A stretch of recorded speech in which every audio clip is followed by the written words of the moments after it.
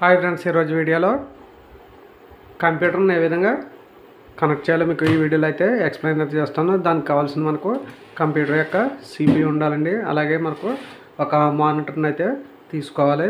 Keyboard mouse మీరు wire use చేయొచ్చు లేదా వైర్లెస్ కూడా యూజ్ అయితే చేయవచ్చు నేను వైర్లెస్ కీబోర్డు అలాగే మౌస్ని అయితే యూజ్ అయితే చేస్తున్నాను. ఇది వచ్చేసి కీబోర్డ్ యొక్క రిసీవర్ అండి. అలాగే ఇది వచ్చేసి మనకు మౌస్ యొక్క రిసీవరు అలాగే వైఫైకి సంబంధించిన డాగుల్ని కూడా నేను యూజ్ అది చేస్తున్నాను. సో ఈ మూడు ముందుగా మీరు సిపియుకి కనెక్ట్ అది చేయాలి. మనకు బ్యాక్ సైడ్ యూఎస్పికి సంబంధించిన పోర్ట్స్ అయితే ఉంటాయి. ఈ పోర్ట్స్లో మనం దీన్ని అయితే కనెక్ట్ చేసి యూజ్ అయితే చేసుకోవచ్చు. చూడండి మనకు యూఎస్పికి సంబంధించిన పోర్ట్స్ అయితే మనకు బ్యాక్ సైడ్ సిక్స్ పోర్ట్స్ అయితే ఉన్నాయి. ఫైర్ ఎండ్ పోర్ట్స్లో మీరు మౌస్ కానీ కీబోర్డ్ కానీ కనెక్ట్ అది చేయండి. వైఫైకి సంబంధించిన రిసీవర్ వచ్చేసి మనకు కింద పోర్ట్లో అయితే కనెక్ట్ అది చేయాలి. సో ఇది వచ్చేసి వైఫైకి సంబంధించిన రిసీవర్ అండి. సో దీన్ని నేను గ్రీన్కి సంబంధించిన పోర్ట్లు అయితే కనెక్ట్ అది చేశాను. దీన్ని కనెక్ట్ చేయడం ద్వారా ఇంటర్నెట్ అనేది కొంచెం స్పీడ్ అయితే ఉంటుంది.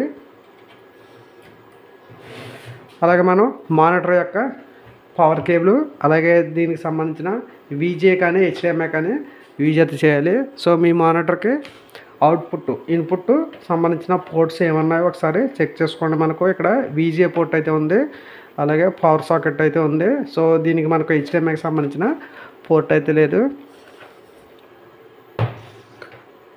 సో మన దగ్గర ఉన్న కేబుల్స్లో విజే కేబుల్ అయితే మనం తీసుకోవాలండి.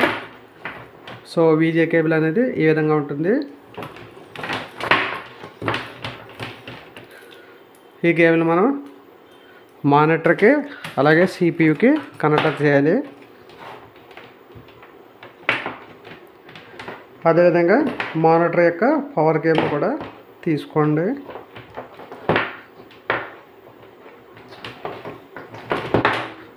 సో మనకు మానిటర్ యొక్క పవర్ కేబుల్ వచ్చేసి ఈ విధంగా ఉంది. So two two pin socket అండి. అదేవిధంగా మన కంప్యూటర్ యొక్క సిపియు సంబంధించిన పవర్ కేబుల్ కూడా మీరు తీసుకోవాలి.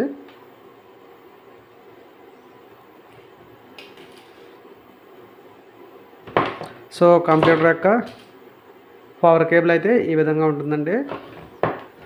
సో రెండో వైపు మనకు త్రీ పిన్ ఉంటుంది. ఇటు సైడు త్రీ వోల్ట్ సాకెట్ అయితే ఉంటుంది. ఈ సాకెట్ వచ్చేసి మనకు కంప్యూటర్ యొక్క పవర్కి కనెక్ట్ అది చేయాలి ప్లగ్ పిన్కి సో ఈ విధంగా కనెక్ట్ అది చేయండి నెక్స్ట్ వచ్చేసి కొన్ని మానిటర్లకు అయితే హెచ్డిఎంఐ కేబుల్ అయితే ఉంటుందండి. ఒకవేళ మీకు హెచ్డిఎంఐ సంబంధించిన మానిటర్ ఉన్నట్లయితే మీరు హెచ్డిఎంఐ కేబుల్ని అయితే యూజ్ అయితే చేసుకోవచ్చు. సో హెచ్డిఎంఐ అనేది ఈ విధంగా ఉంటుంది. సో మనకి కేబుల్స్తో యొక్క పనులు అయితే లేదా వేరే కంప్యూటర్ యొక్క కేబుల్స్ ఉండేవి. సో ఇక్కడ మనం పవర్ కేబుల్ అయితే కనెక్ట్ చేసాం. అదేవిధంగా విజిఏ కేబుల్ అండి. సో విజిఏ కూడా మీరు మీ కంప్యూటర్ యొక్క అవుట్పుట్ పోర్ట్స్లో అయితే కనెక్ట్ అది చేయాలి. చూడండి మనకు కంప్యూటర్లో కొన్ని ప్రాసెసర్ వచ్చేసి మనకు మదర్ బోర్డ్లో ఉన్న సాకెట్ ద్వారా మనకు అవుట్పుట్ విజువల్స్ వస్తాయి. కొన్ని సిపిఎస్ వచ్చేసి మనకు గ్రాఫిక్ కార్డ్ ద్వారా మనం అవుట్పుట్ అయితే తీసుకోవాల్సి ఉంటుంది. ఇది మీకు ప్రాసెసర్ యొక్క మోడల్ని బట్టి అయితే ఉంటుందండి. కొన్ని మోడల్ ప్రాసెసర్స్ అయితే మీకు అవుట్పుట్ అనేది గ్రాఫిక్ కార్డ్ లేకుండా కూడా మీరు తీసుకోవచ్చు. కొన్ని మోడల్స్ అయితే మనకు గ్రాఫిక్ కార్డ్ అయితే మనకు ఈ కంప్యూటర్ ప్రాసెసర్లు అయితే ఇన్బుల్డ్గా అయితే ఉండదు. సో ఈ కంప్యూటర్లో మనకు ప్రాసెసర్లో మనకు ఇన్బుల్డ్ గ్రాఫిక్స్ అయితే లేవండి. సో దానికోసం దీంట్లో మనం టూ జీబీ డీడీఆర్ త్రీకి సంబంధించిన గ్రాఫిక్ కార్డు ఇచ్చేసాం కనుక సో ఇక్కడ గ్రాఫిక్ కార్డ్ నుంచి మనం అవుట్పుట్ విజువల్స్ని అయితే మానిటర్కి కనెక్ట్ అయితే చేయాలి. సో ఈ విజే కేబుల్ వచ్చేసి మానిటర్ యొక్క బ్యాక్ సైడ్ ఉన్న విజేకి అయితే కనెక్ట్ అయితే చేసేయండి.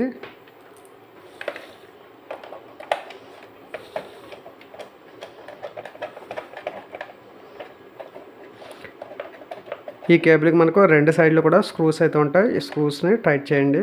ఓకే? ఇక్కడ మనం ఇక్కడ పవర్ కేబుల్ని అయితే కనెక్ట్ అయితే చేసుకోవాలి.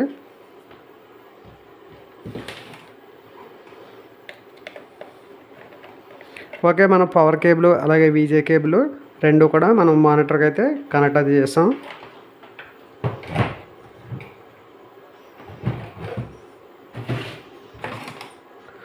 సో ఇది వచ్చేసి మనకు మానిటర్ సంబంధించిన కేబుల్ అండి. అలాగే మన కంప్యూటర్ యొక్క సిపియుకున్న పవర్ కేబుల్ వచ్చేసి ఈ కేబుల్. సో ఈ రెండింటిని మనం ఎక్స్టెన్షన్ బోర్డుకి కనెక్ట్ అది చేయాలి.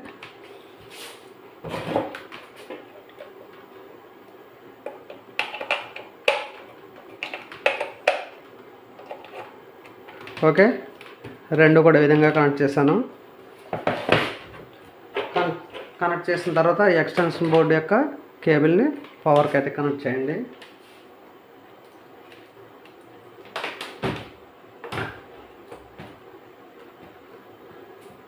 ఓకే ఈ విధంగా కనెక్ట్ చేసిన తర్వాత మీ హోమ్లో ఉన్న ఇన్వర్టర్ని ఆన్- ఆన్ చేయండి. ఒకవేళ ఇన్వర్టర్ లేని వాళ్ళు ఎవరైనా ఉంటే మీరు కంప్యూటర్కి తప్పనిసరిగా యూపీఎస్ని అయితే యూజ్ అయితే చేయండి. సో ఇప్పుడు మనం ఒక స్విచ్ని అయితే ఆన్ చేద్దాం. ఈ స్విచ్ వచ్చేసి మానిటర్ యొక్క స్విచ్ అండి. సో ఓకే మనకు మానిటర్ అయితే ఆన్ అవ్వండి సెకండ్ స్విచ్ వచ్చేసి మనకు సిపి యొక్క పవర్ అయితే అవుట్పుట్ అండి ఇది. సో ఈ స్విచ్ని కూడా ఆన్ చేయండి. ఓకే రెండు స్విచ్చెస్ ఆన్ చేసిన తర్వాత మన కంప్యూటర్ యొక్క ఫ్రంట్ సైడ్ అయితే ఆన్ ఆఫ్ బటన్ అయితే ఉంటుంది. మీరు బటన్ ప్రెస్ చేయగానే మీ కంప్యూటర్ అనేది ఆన్ అవుతుందండి. చూడండి మనకి ఇక్కడ ఆన్ ఆఫ్ బటన్ అయితే ఉంది. సో ఈ ఆన్ ఆఫ్ బటన్ని క్లిక్ చేయండి.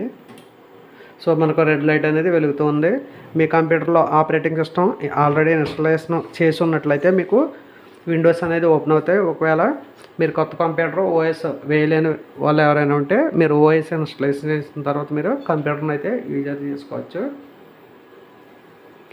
సో మనకు దీంట్లో ఉన్న డ్రైవర్స్ అనేవి స్కాన్ అయితే అవుతున్నాయి. హండ్రెడ్ పర్సెంట్ కంప్లీట్ అని వస్తుంది కదా. అది డ్రైవ్ కంప్లీట్ అయ్యేంత వరకు వెయిట్ చేయాలి. తర్వాత మీరు పీసీని అయితే యూజ్ అయితే చేసుకోవచ్చండి.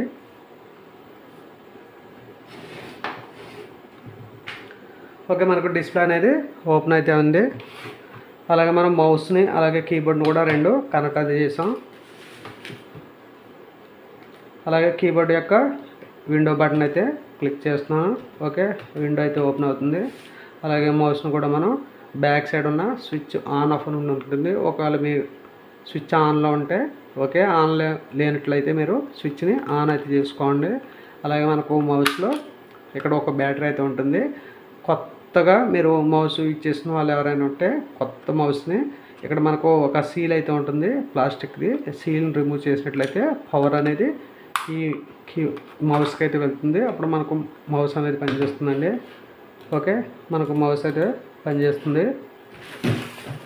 అలాగే మనకు కీబోర్డ్లో కూడా మనకు బ్యాటరీస్ అయితే ఉంటాయండి. సో వైర్లెస్ కీబోర్డ్లో మనకు ఈ విధంగా డోర్ ఓపెన్ అవుతుంది. ఇక్కడ రెండు బ్యాటరీస్ అయితే ఉంటాయి.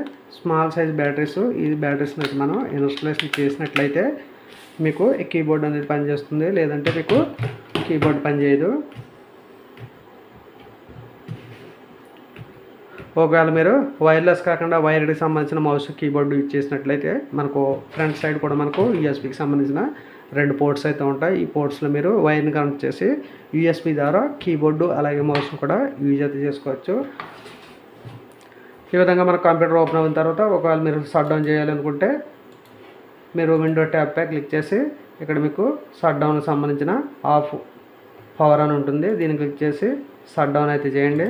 సో సింపుల్గా మీరు మీ పీసీని షట్ డౌన్ అయితే చేసుకోవచ్చు. ఓకే ఫ్రెండ్స్ మీకు వీడియో నచ్చింది అనుకుంటున్నాను. వీడియో నచ్చితే లైక్ చేయండి అలాగే షేర్ చేయండి. మరి ఇంట్రెస్టింగ్ వీడియోస్ కోసం మా ఛానల్ని ఫాలో అవుతాను. Thank you friends bye